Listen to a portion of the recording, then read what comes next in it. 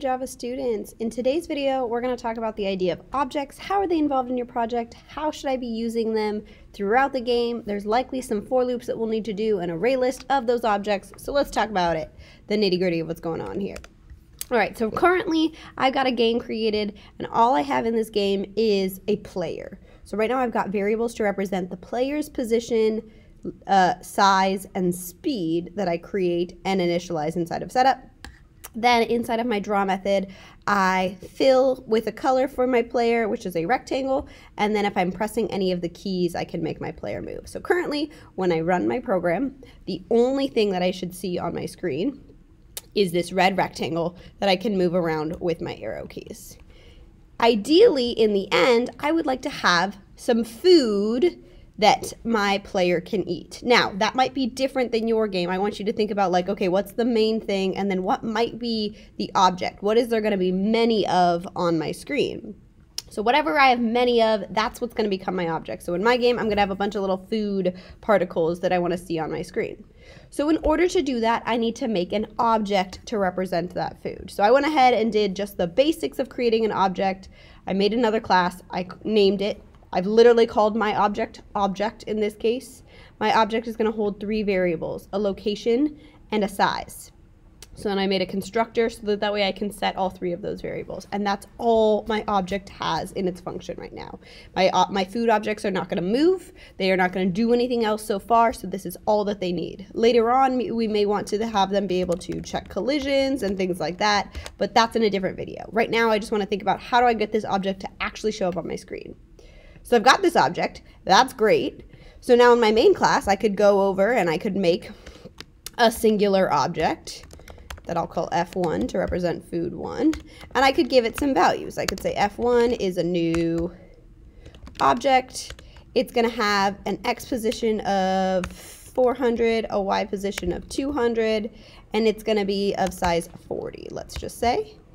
And then this creates my object. This places numbers to each of those variables. But if I run my program right now, I haven't actually done anything to draw the food, so nothing has changed so far. I've created more variables, but that's about it. So then in my game, I would also have to say, well, let's fill with, I don't know, let's make my food blue or green, I guess, in that case. Oops, no S there. And then we'll draw an ellipse that's at f1.x, f1.x, f1.y, f1.size twice because it is a circle. Okay, now when I run my program, I should see my rectangle and I should also see my green ellipse. This is because I've actually done the part where I draw it. So I have to do that part.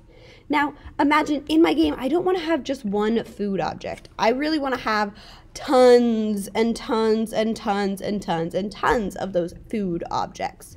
So in order to make that happen, well, I need to have a lot of them. So let's make a lot of food objects.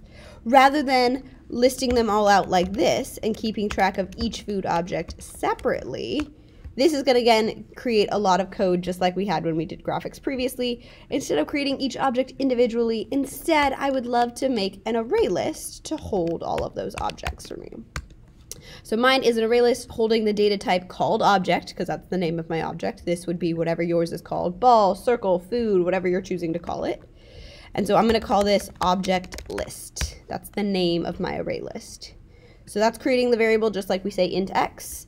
Then inside of setup, we're going to say like x equals 10. And the way that we say that when we're talking about our array list is object list equals new array list. Okay, so now I've made this array list. So then rather than creating this f1 variable, instead I just want to add to my object list the new object that I had from before. So rather than assigning all of this information to a variable called f1, we're going to say, hey, object list, go put this first object at position 0 in your list. Then I could repeat this process. Now, if I wanted to, if I needed very specific positions for each of my shapes, I could do something like this over and over and over again to get the exactly specific positions. Now, if those specific positions that you're thinking about happen to be a grid, go check out the other video about how to make a grid of shapes using for loops there. Uh, but if you have very specific positions that are not a grid, you have to be very particular. You can go ahead and just add all of your objects at the beginning of your game, just like this. However, for me right now, now this would all happen inside of setup to add those objects to that list. However, for me right now, I don't actually care where these objects are to begin with. I just need them on the screen. So I'm gonna put them in random positions on my screen.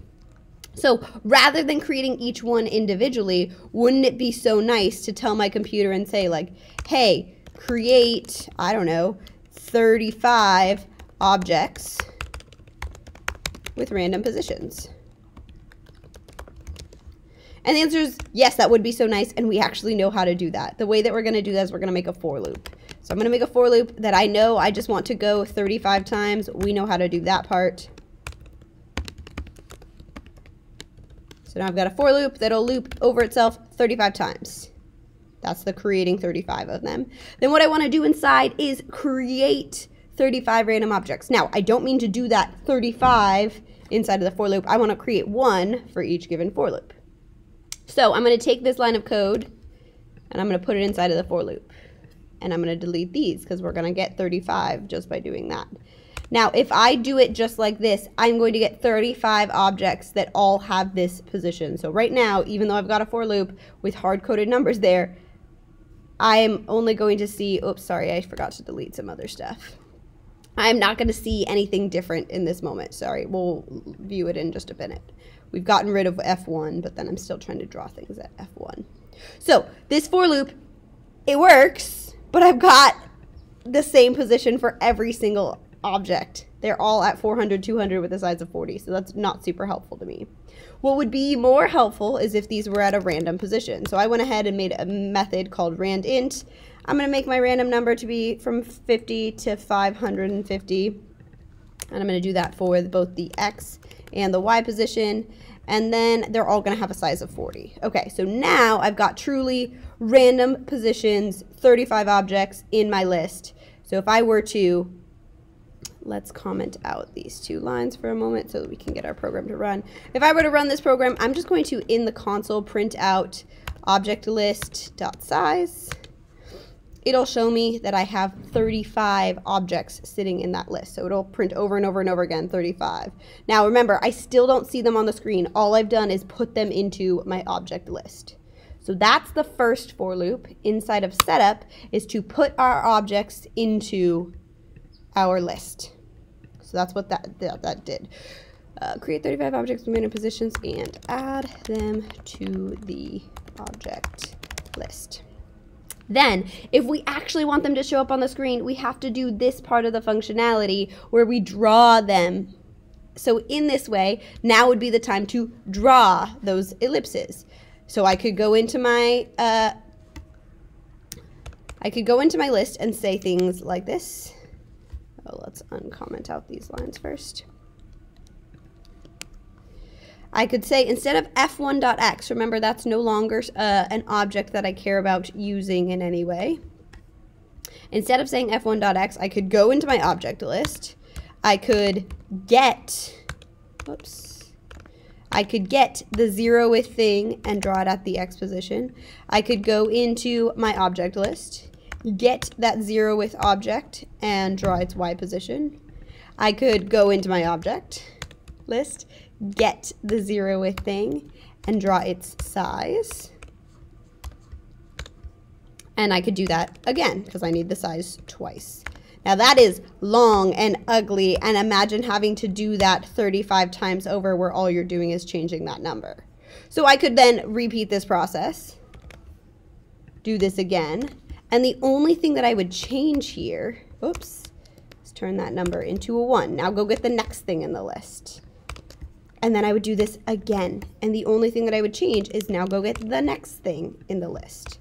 So if you're noticing, I'm doing the same line of code. The only thing I'm changing is the number that goes in there. So rather than writing this line over and over and over again, wouldn't it be so nice to loop over the list and only have to write this line of code one time? And the answer is yes, it would be so nice. So now inside of here, we are instead going to loop over the list of objects, the one that's called object list, to draw each object.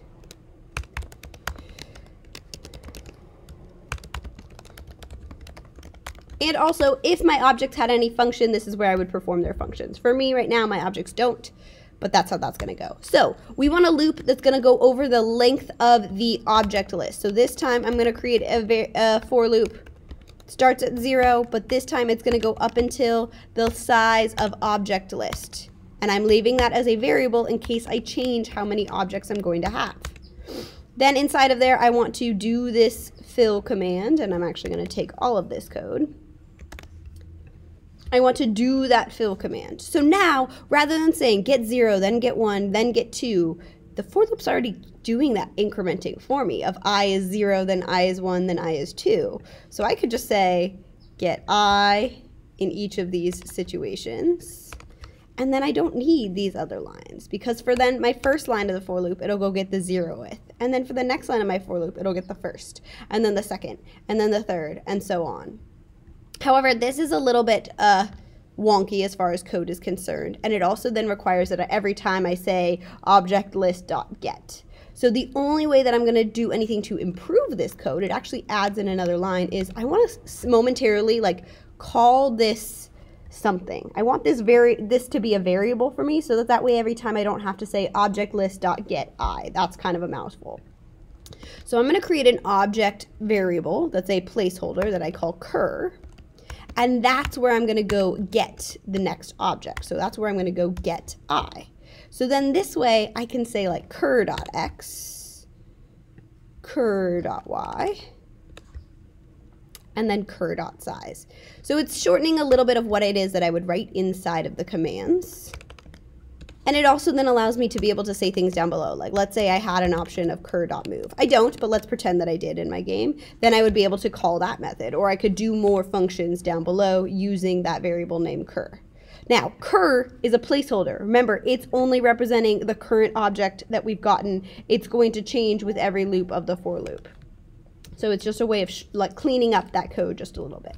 So now, when I run this program, I should see my rectangle and all of those food ellipses, just like I do there. So in the end, I have two different for loops, one inside of setup that helps me create all those objects. Likely you will have something like this, but depending on how your game goes, maybe you won't. Maybe you will have this for loop existing somewhere else to create objects.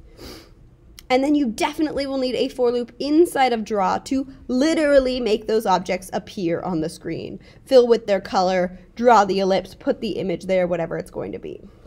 But that's a quick rundown of how your objects will be involved in your project.